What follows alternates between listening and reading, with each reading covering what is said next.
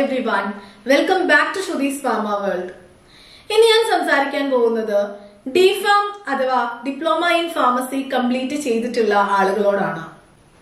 D pharm പഠിച്ചവർക്ക് എന്താ government pharmacist ആയിക്കൂടെ?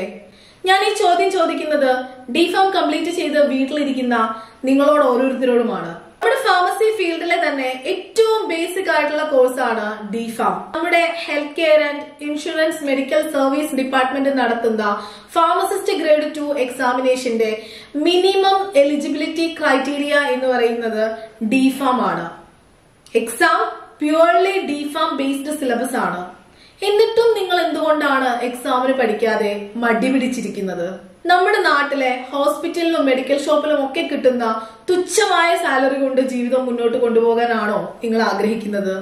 രണ്ട് വർഷം നമ്മൾ കഷ്ടപ്പെട്ടിരുന്ന് തിയറിയും പ്രാക്ടിക്കലും ഒക്കെ പഠിച്ച് സകല ടെൻഷനും പഠിച്ച് യൂണിവേഴ്സിറ്റി എക്സാം എഴുതി പാസ്സായി ഫാർമസിസ്റ്റ് രജിസ്ട്രേഷൻ സർട്ടിഫിക്കറ്റും കയ്യിൽ പിടിച്ച് ജോലിക്ക് പോവാതെ വീട്ടിലിരിക്കുകയാണോ? അല്ലെങ്കിലും വളരെ തുച്ഛമായ സാലറിയിൽ നാട്ടിലെ മെഡിക്കൽ ഷോപ്പിലും ഹോസ്പിറ്റലിലും ഒക്കെ പോയി നിൽക്കുകയാണോ നിങ്ങൾ ഇനിയെങ്കിലും ഈ ഒരു ദിവസമെങ്കിലും നിങ്ങൾ ചിന്തിച്ചു തുടങ്ങണം. ഗവൺമെന്റ് ഫാർമസിസ്റ്റ് എന്നൊരു ഓപ്ഷൻ നമ്മുടെ മുന്നിലുള്ളപ്പോൾ എക്സാം നോട്ടിഫിക്കേഷൻ വന്നു കഴിഞ്ഞു. ഇന്ന് ഒക്ടോബർ മുപ്പത് രണ്ടായിരത്തി ഇരുപത്തി മൂന്ന് ഒക്ടോബർ മുപ്പത്. നവംബർ ഒന്നിനാണ് ഫാർമസിസ്റ്റ് ഗ്രേഡ് ടു എക്സാമിന് അപ്ലൈ ചെയ്യാനുള്ള ലാസ്റ്റ് ഡേറ്റ് മറക്കരുത്. ഇന്ന് തന്നെ ഇപ്പൊ തന്നെ അപ്ലൈ ചെയ്യുക. ഈ ഒരു ചാനൽ ഞാൻ സ്റ്റാർട്ട് ചെയ്തതിന് ശേഷം ഒത്തിരി സ്ത്രീകളോട് സംസാരിക്കാനുള്ള ഒരു അവസരം എനിക്ക് കിട്ടിയിട്ടുണ്ട്. ഡി ഫാം കോഴ്സ് കംപ്ലീറ്റ് ചെയ്തിട്ടില്ല ബി ഫാം കംപ്ലീറ്റ് ചെയ്തിട്ടില്ല. ജോലിക്ക് പോകണമെന്ന ആഗ്രഹം ഉണ്ടായിട്ടും പോവാൻ സാധിക്കാത്ത വീട്ടിലിരിക്കുന്ന ഒരുപാട് പേരോട് സംസാരിച്ചിട്ടുണ്ട്. തുച്ഛമായ സാലറിയിലെ ജീവിതം എങ്ങനെ മുന്നോട്ട് കൊണ്ടുപോകണമെന്ന് അറിയാതെ വിഷമിക്കുന്ന ഒരുപാട് പേരുടെ സങ്കടം കേട്ടിട്ടുണ്ട്. നാട്ടിലെ ഫാർമസിയിലേക്ക് മകളെ അയക്കില്ല ഭാര്യയെ അയക്കില്ല എന്ന് വാശി പിടിക്കുന്ന വീട്ടുകാരുണ്ടെന്ന് ഈ ഒരു ചാനൽ തുടങ്ങിയതിനു ശേഷം ഞാൻ മനസ്സിലാക്കിയിട്ടുണ്ട്. ഗവൺമെന്റ് ഓഫർ ചെയ്യുന്ന ഒരു ജോലി ആവുന്ന സമയത്ത് പല പ്രശ്നങ്ങളും അവിടെ ഇല്ലാതാകുന്നതായി നമുക്ക് കാണാം. അങ്ങനെയുള്ളവരെയൊക്കെ സംബന്ധിച്ചിടത്തോളം ഒരുപക്ഷെ ഈ വരുന്ന എക്സാം അവരുടെ ജീവിത നിലവാരം തന്നെ മാറ്റിമറിക്കുന്ന രീതിയിലേക്കുള്ളതായിരിക്കാം. ഇപ്പോ ഒരിത്തിരി കഷ്ടപ്പെട്ട് പഠിക്കാൻ നിങ്ങൾ തയ്യാറാവുകയാണെങ്കിൽ ഞാൻ പറഞ്ഞു ഡി ഫാം കഴിഞ്ഞിട്ടുള്ളവരെ മാത്രം കോൺസെൻട്രേറ്റ് ചെയ്ത് ഞാൻ ചെയ്യുന്ന ഒരു വീഡിയോ ആണിത്. ഈ ഒരു എക്സാമിന്റെ ബേസ് എന്ന് പറയുന്നത് തന്നെ നിങ്ങൾ രണ്ടു വർഷം പഠിച്ചിട്ടുള്ള നിങ്ങളുടെ സിലബസ് ആണ്. അതൊന്ന് പൊടി തട്ടി എടുക്കേണ്ട ഒരു ആവശ്യം മാത്രമേ നിങ്ങൾക്ക് വരുന്നുള്ളൂ. കുറച്ച് സീരിയസ് ആയി പഠിക്കാൻ നിങ്ങൾ തയ്യാറാവുകയാണെങ്കിൽ ഒരു ജോലി എന്ന സ്വപ്നം ഉടനടി നിങ്ങൾക്ക് സാക്ഷാത്കരിക്കാനായി സാധിക്കും. മുപ്പത്തയ്യായിരത്തി അറുന്നൂറ് മുതൽ എഴുപത്തി അയ്യായിരത്തി നാനൂറ് രൂപ വരെയാണ് ബേസിക് സ്കെയിൽ ഓഫ് പേ എന്ന് പറയുന്നത്. വളരെ ആകർഷകമായ ഒരു സ്കെയിൽ ഓഫ് പേ തന്നെയാണത്.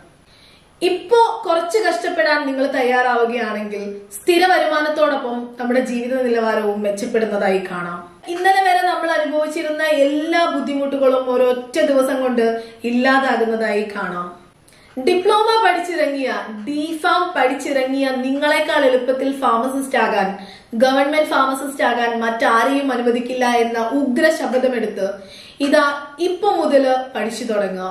നിങ്ങൾ മനസ്സിലാക്കേണ്ടത് രണ്ടായിരത്തി ഇരുപത്തി മൂന്ന് ഡിസംബറോടുകൂടെ പഴയ റാങ്ക് ലിസ്റ്റിന്റെ കാലാവധി അവസാനിക്കുകയാണ്.